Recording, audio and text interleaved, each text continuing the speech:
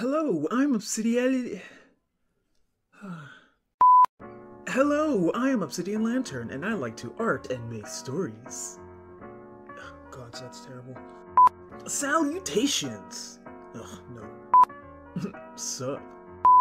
Greetings, I'm Obsidian Lantern, and I have no idea what I'm doing on the internet. Okay, so I draw stuff and pretend to be some cool assassin with some kind of contingency plan for everything. Oh, and I like to my lines.